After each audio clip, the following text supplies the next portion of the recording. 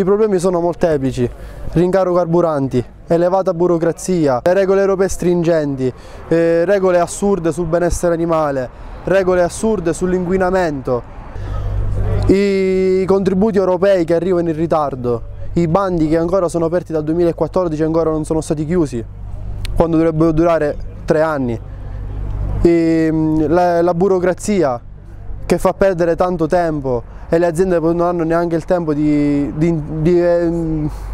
di, costruire, che possibilmente non ce la fanno in tempo ad avere quei guadagni e poi chiudono. Ho un allevamento di bovini, produco latte e carne.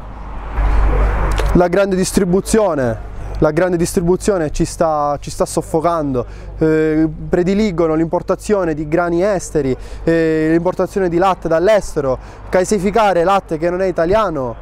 per ovvi risparmi ma quando noi abbiamo qui la qualità, elevatissima qualità, perché il nostro latte viene venduto per alta qualità, perché lo è, perché lo è. E io a vent'anni mi impegno per la mia azienda, mi impegno per il mio territorio e tu, tutti i giorni mi impegno alzandomi presto la mattina. E questo fa male, fa male a me come tanti giovani, come tanti 30, 40 anni che si avviano per una famiglia quando non abbiamo, abbiamo paura, abbiamo tanta paura. Eh, bisogna appellarci intanto a tutti i colleghi per partecipare al presidio, per cercare di rivendicare chiamiamoli i nostri diritti, ma ci sono delle cose sia a livello europeo che vanno sistemate perché così facendo andremo tutti al, siamo destinati alla chiusura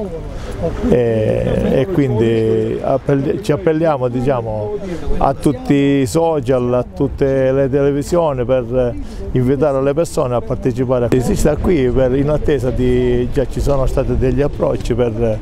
eh, vedere come poter sistemare alcune cose che già sono abbastanza carenti nei, nei nostri confronti.